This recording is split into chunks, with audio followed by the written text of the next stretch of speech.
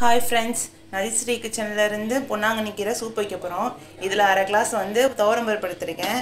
பத்து வெங்காயம் மூணு தக்காளி ரெண்டு பச்சை மிளகாய் போட்டிருக்கேன். பொன்னாங்கண்ணி கீரை வந்து கழுவி அலசி வச்சுருக்கேன். ஆட் பண்ணிக்கோங்க.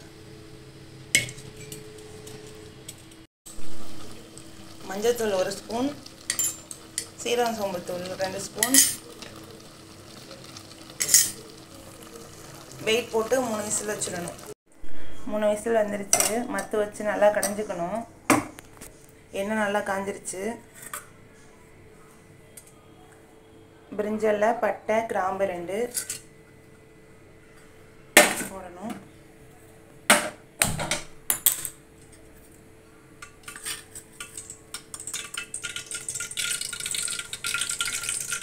ரெண்டு ஸ்பூன் ஒரு ஸ்பூன் சோம்பு.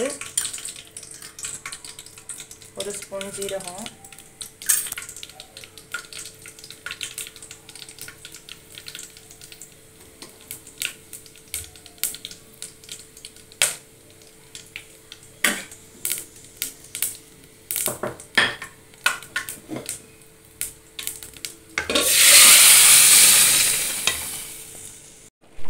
தேவையான அளவு தண்ணி சேர்த்து கொதிக்குது.